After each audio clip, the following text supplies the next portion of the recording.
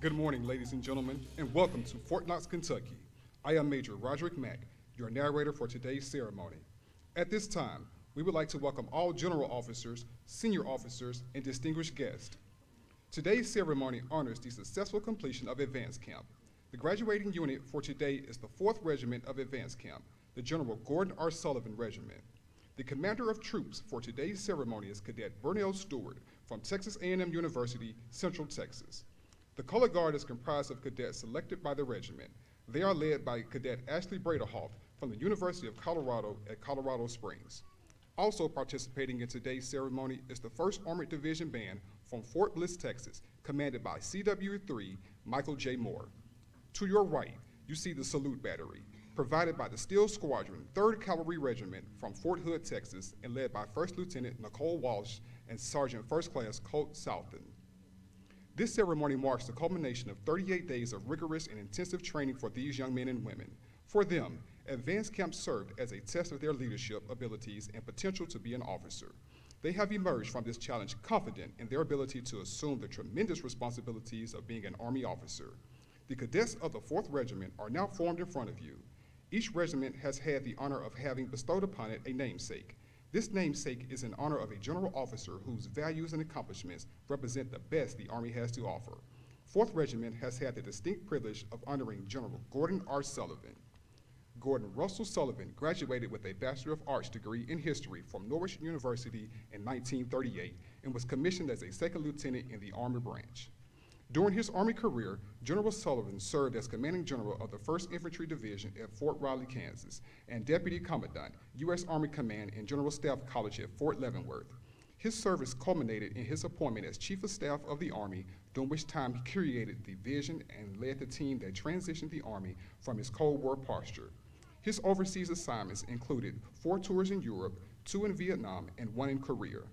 In honor of their completion of advance camp, the cadets from the General Gordon R. Sullivan Regiment will be receiving a three-gun salute in the form of a cadet cannonade. In a moment, the commander of troops will bring the units to attention and present arms. Bring your units to attention and present arms. Company, attention, present arms. Company, attention, present arms. Present arms. Company, attention. Present arms. Company, attention, present arms.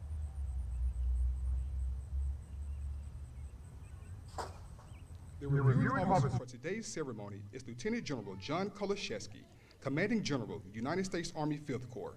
He is accompanied by the host and the Regimental Tactical Officer, Lieutenant Colonel Daniel J. Gross. Ladies and gentlemen, please rise for the entrance of the official party and remain standing for the rendering of honors to the reviewing officer and the invocation offered by Cadet Chaplain, Second Lieutenant Sylvia Bennett.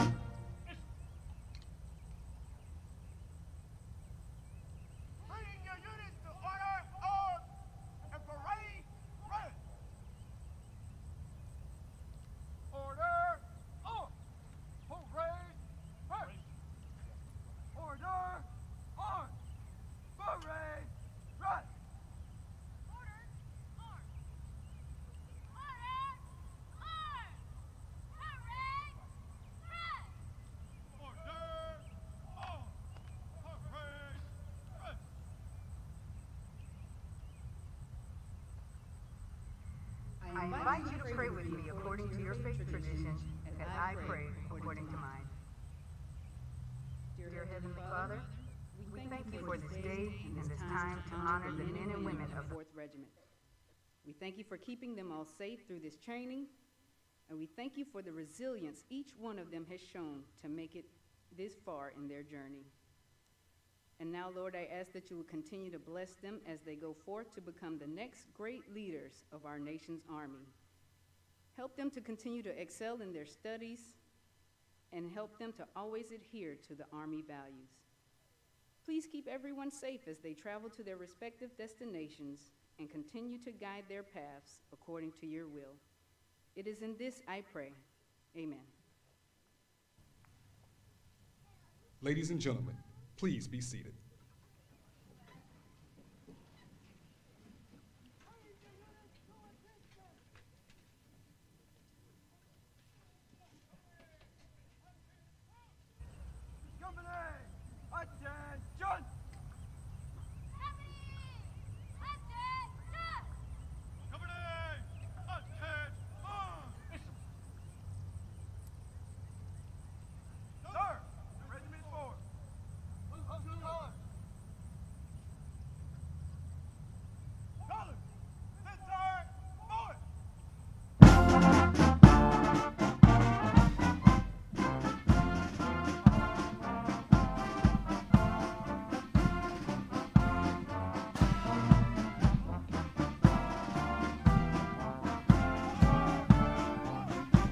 Colors are now being brought forward by the Commander of Troops.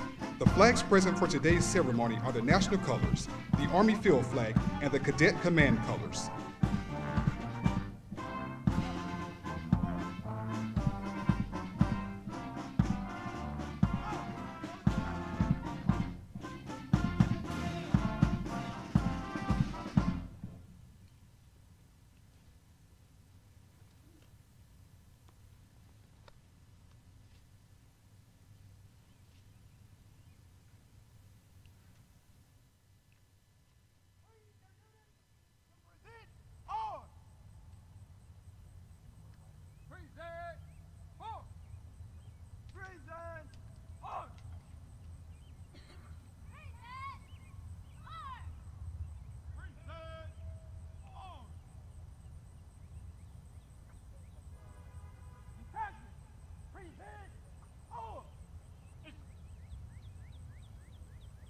Ladies and gentlemen, please rise for the playing of our national anthem and remain standing during the firing of the cadet cannonade. We ask that military personnel in uniform maintain their hand salute until the completion of the cadet cannonade.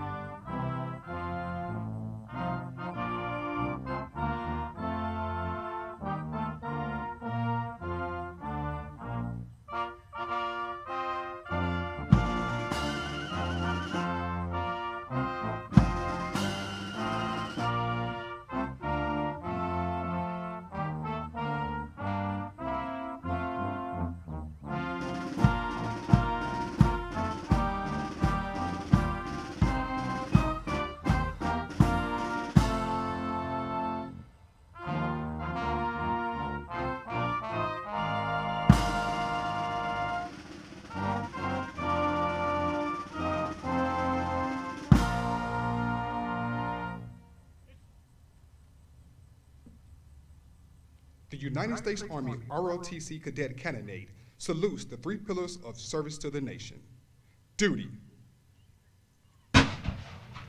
obedience, and disciplined performance despite difficulty or danger. Duty requires self responsibility and selfless devotion. Honor, encompassing integrity and dedication. Honor is the thread which holds together the fabric of our Army. Country, for which men and women have given their lives, our country shines as a light of freedom and dignity to the world. Ladies and gentlemen, please be seated.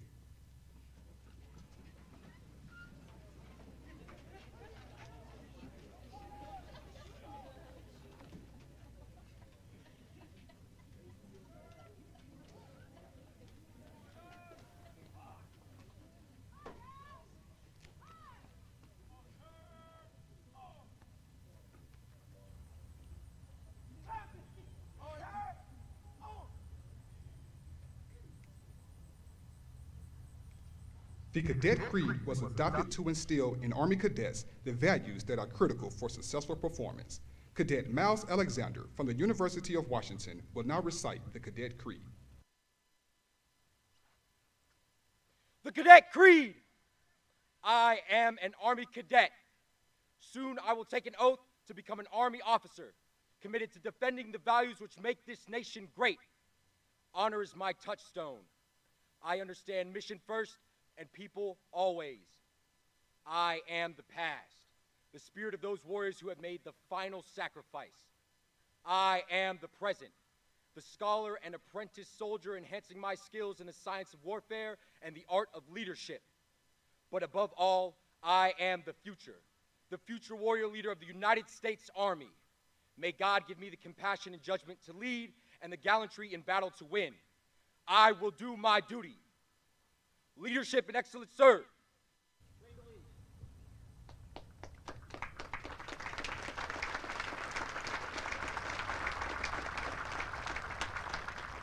Bring your units to parade ready. Parade, parade first.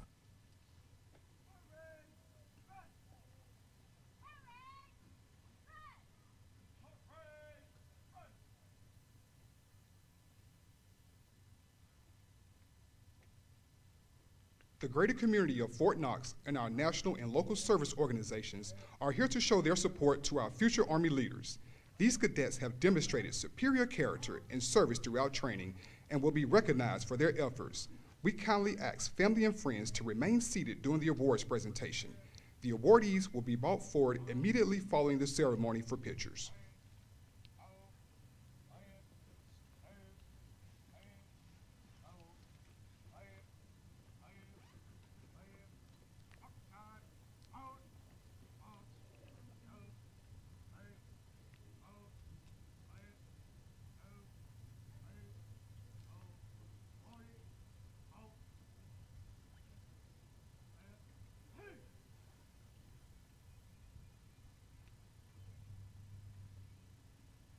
AUSA Leadership Excellence Award is presented by Michael Pesco. The award is presented to the top cadet in each regiment, as determined by a regimental cadre board. This award is presented to Cadet James Schottenkirk from Methodist University.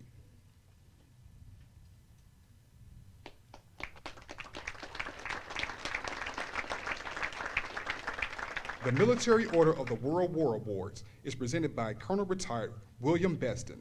The award is presented to the cadet who best demonstrates the ability to evaluate, analyze, apply, and understand experiences and capabilities to solve technical problem sets. This award is presented to Cadet Reg- Regents Massenat from Florida International University.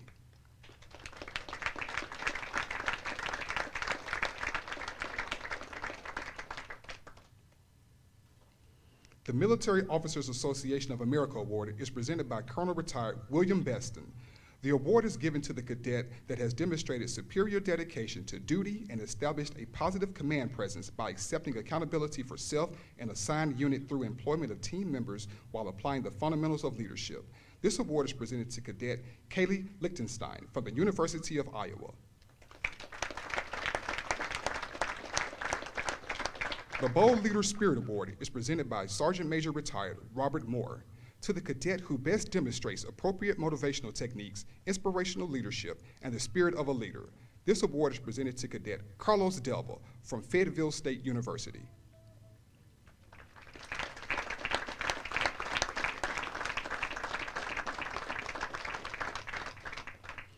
The USAA Warrior Spirit Award is presented by Sergeant Major Retired Joe Zotomoyer.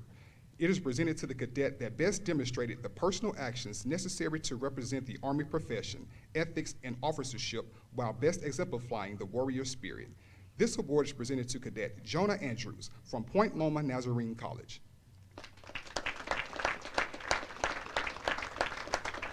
The Armed Forces Services Corporation Award is presented by Megan Huffman to the top male and female cadet who achieved the highest score in Army physical fitness.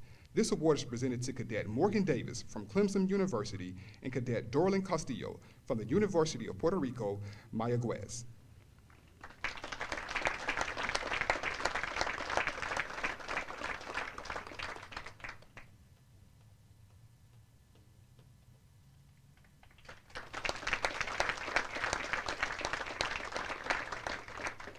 The First Command Financial Service Award is presented by Petty Officer First Class Robbie S. Smith to the cadet who best demonstrates the leadership traits necessary to encourage teamwork, improve unit cohesion, and reinforce mission accomplishment. This award is presented to Cadet Anna Cavadelisa from West Chester University.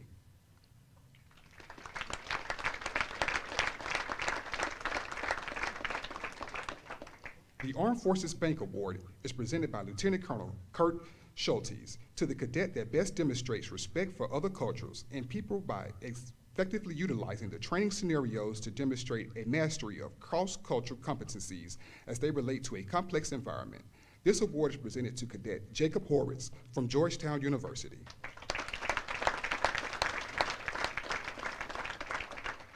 The Reserve Organization of America Award is presented by Colonel Retired Clifford Bernstein. The award is given to the cadet that embodies the characteristics of a comprehensive soldier by demonstrating resilience, the lifelong pursuit of enhanced performance to cope with adversity and stressful situations, and thrive in life. This award is presented to Cadet Austin Grabriel from Kansas State University.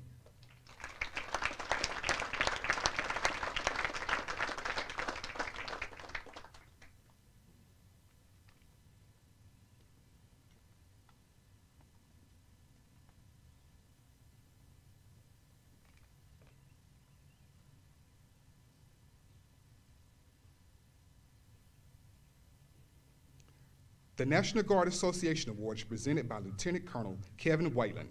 The award is presented to the top Army National Guard cadet in each regiment, as determined by a regimental cadre board. This award is presented to Cadet Jack Anderson from Texas A&M University.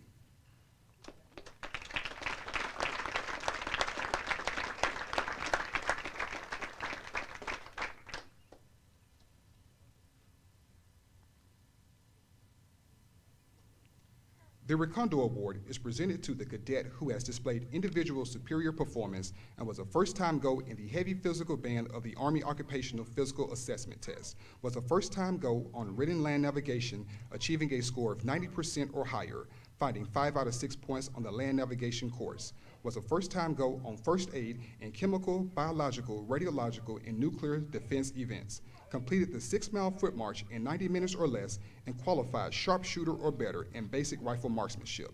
The following cadets from 4th Regiment are awarded the Recondo Badge and have been identified in your program with an asterisk by their name. At the completion of the ceremony, today's awardees will return to the field for individual congratulations and photo opportunities. Ladies and gentlemen, please join me in giving our awardees a round of applause.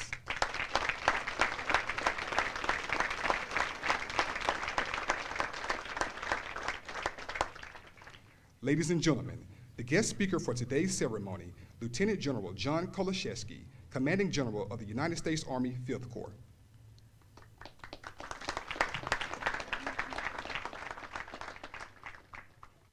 Good morning, cadets of 4th Regiment, the Currahees. Sounds like we're still asleep this morning. So let's try this again. This time, when I say 4th Regiment, I want you all to sound off with Currahee. Good morning, cadets of 4th Regiment. Okay, kind of moving in the right direction. Now, I, as I was doing physical training this morning, I heard you out here rehearsing, so I know that you've been up since 4:30. So I, I am actually going to take a, a, a, play out of uh, General Evans's playbook. Now, he said 25 minutes. I think it's about 20. But let me go ahead and let you guys go to uh, rest. So go ahead and go to rest. Okay, don't fall asleep on me, but just go to rest. Okay. My name is John Kolasheski, and I'm a Fifth Corps soldier and a very proud ROTC graduate of Bucknell University, class of 1989. Go Bisons. And I have to admit, John, I'm, I'm surprised that there were no Bucknell cadets up here getting recognized for, for uh, distinguished service during cadet summer training. It must be for the 5th Regiment, right? Or 1 through 3. There was, a, there was an Aggie, yes. Uh, we have a daughter that goes to Texas A&M.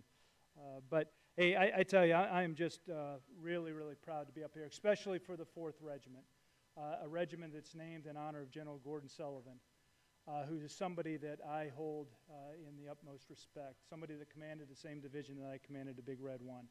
and who is also an armor officer. And so I know in this regiment, you are going to really knock it out of the park in terms of the numbers of people that sign up to go armor. Uh, so, all kidding aside, I, I'd like to thank General Evans, Sergeant Major Gann, uh, for giving me the opportunity to address you, you, the future of our military.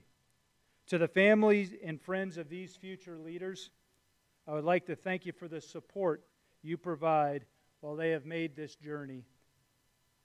While their initial start may have been arduous, the challenges they have encountered or will continue to com- uh, encounter will need and necessitate, and necessitate your support. So thank you. Continue to provide a guiding light. They will need it. To the cadre, the professors of military science, the APMSs, uh, and the many NCOs and soldiers that make this training event possible, thank you for your efforts. It was the many hours you dedicated that attributed to these cadets' success. So thank you. As I look across the crowd, I see droopy eyes, and, I am reminiscent of my own experiences at Advance Camp. Yes, I know that that was only a few years ago, but I am sure the sentiment remains the same. With that said, I will keep my, briefs, my comments uh, brief, down to 20 minutes. This year marks the 246th anniversary of the United States Army. That is 246 years of history in which the leaders across our profession have made significant impacts that have not only shaped our military, but have also led to momentous change across our nation and across the world. Over the last several years, you have been groomed with modern versions of the same leadership theories and operational methodologies as those who have come before you. All of this, to include cadet summer training, was designed to build your understanding of the profession in which you are about to enter. I can stand here and lecture you with stories of grandeur, but instead I want to plant a seed. Our military is in the midst of transformation, transformation, transformation and transformative change. We are focusing on modernization and innovation, and none of this can be done without people. The leadership roles that many of you will assume following your commissioning is an endeavor in understanding, working with, and yes, leading people. If you leave here today remembering anything, I hope it is with these lessons that I've learned in, over my, in my over 32 years of service. One, you need to move as a team. Two, you need to learn the art of conversation. And three, respect everyone and stay humble. Throughout your career, you'll be placed on multiple teams. They will be comprised of people from varying walks of life and skill sets. There are occasions when you will be the one in char- charge and times you won't. Understand that those moments where you are not in the lead are just as important. The role of the follower is essential to mission and organizational success.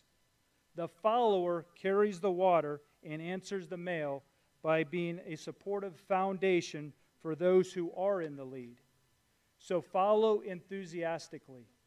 Be motivated to jump in and help solve the complex problems we face today and those that may arise in an uncertain future. When the opportunity comes for you to lead the pack, remember to look back toward those following you.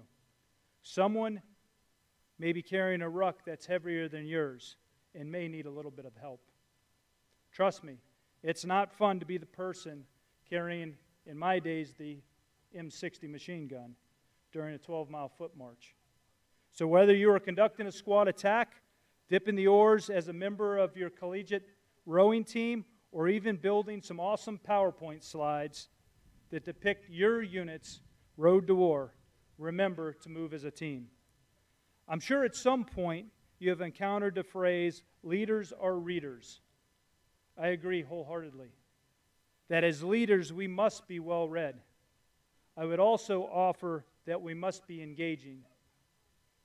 Technological advancements have made it possible for us to access information at the touch of a button. Just a few years ago, ideas such as video calling were rudimentary and in the military only available to highest echelons of command. That's not true today. Unfortunately, while we have gained an improved ability to communicate, we have lost our ability to be connected. I'm sure this sounds contradictory, but bear with me as I elaborate. Conversation is an art. Being connected to people is an art that, when executed effectively, can enable your ability to influence others. It requires you to be confident enough to express your thoughts, patient enough to listen, for, to understand, and intelligent enough to explore ideas and opinions that might be contradictory to, you, to your own. And that's okay. Your ability to converse with and engage others is critical in how you interact and how you interact with those around you. You must be clear and concise in the points you are making and in your efforts to be easily understood. So, whether you're asking a fellow platoon leader for assistance on an assigned task, conducting your first range brief to your battalion commander, or giving your first op board brief to your platoon, the art of conversation is key. Cultivate this valuable skill. Lastly, in this profession, you will interface with people. Your ability to work as a member of a team and ability to communicate will shape your interactions with those around you and really solidify your reputation. Always remember how you treat others matters. Were you the one that made them feel that their service was valued? Were you the one who helped them in a time of need? Or did you let them fail? In kind of closing, always be humble and always be respectful. That's your legacy. That's your reputation, and it's important. Congrats on reaching this milestone, and good luck as, you as you return to your respective campuses to finish out the remainder of your coursework. I'm confident that your instructors are just as proud of you and excited of you as me and your family are. Remember, it is our varied, varied backgrounds and experience that make us such a strong and respected institution. Now it's your responsibility to help those freshmen and sophomores be successful uh, as they get further and further in their cadet studies. So, again, congratulations. Need you to now go make history. People first, it will be done. Victory. Curries, go ahead. Attention! Parade! Rest! Okay, again, thank you and good luck.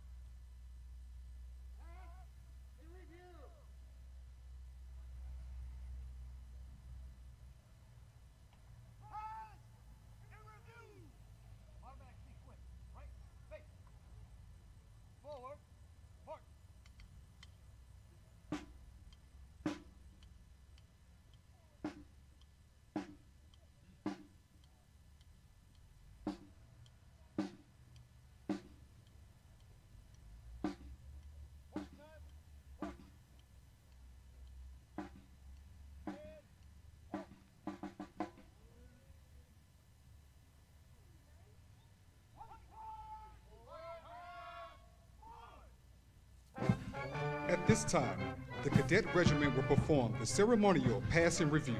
Please remember to stand and render honors to the nation as the colors pass.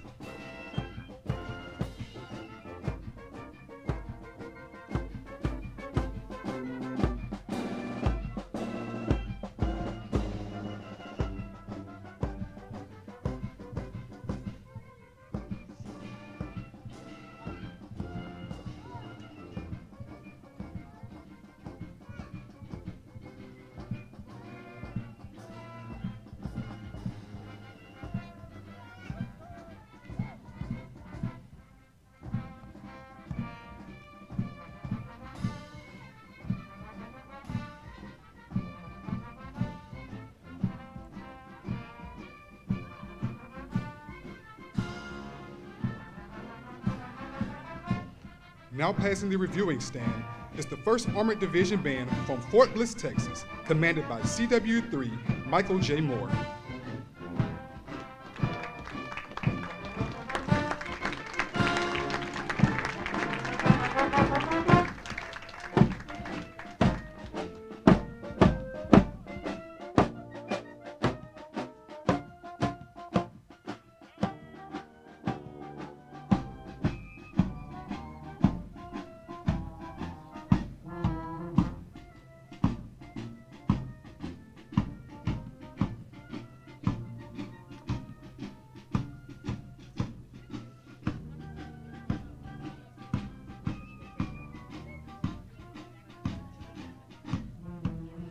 Passing the reviewing stand is the commander of troops for today's graduation, Cadet Burnell Stewart from Texas A&M University, Central Texas.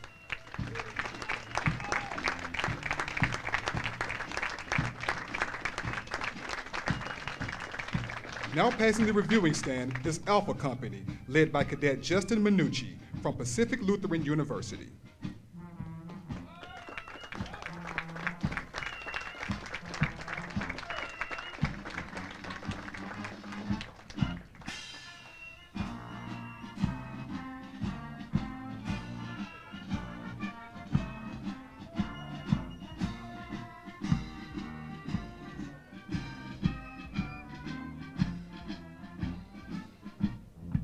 Now passing the reviewing stand is Bravo Company, led by Cadet Mason Devery from Washington State University.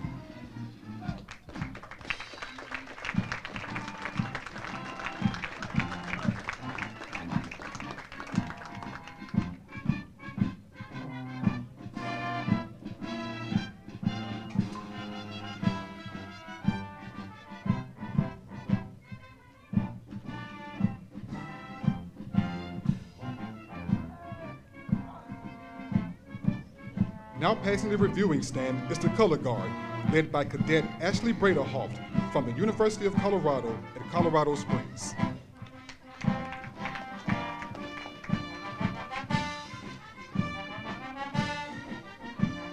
Now passing the reviewing stand is Charlie Company, led by Cadet Roxana Trujillo from Austin Peay State University.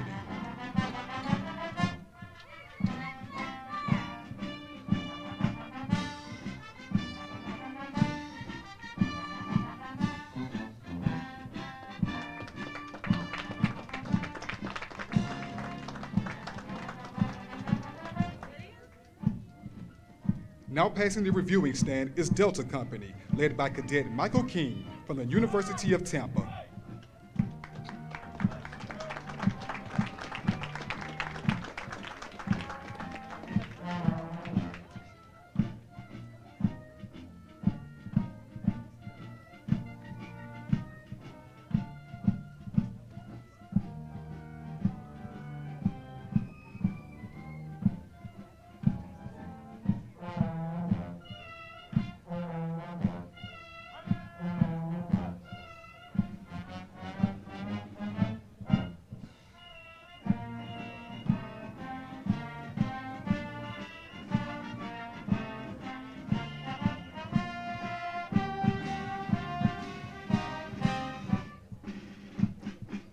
Ladies and gentlemen, please stand for the playing of the Army Song.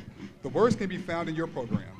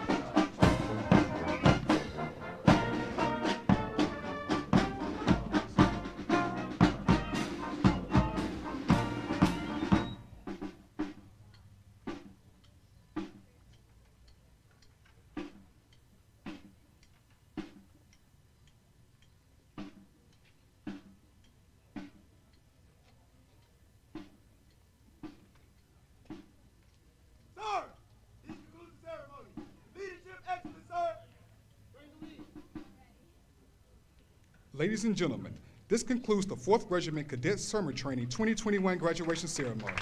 As a reminder, this ceremony can be viewed at futurearmyofficers.army.mil or youtube.com. Family and friends, please allow a few moments for your cadets to prepare for departure before joining them at the tents to the right side of the field. Each cadet has a different instruction depending on their next mission.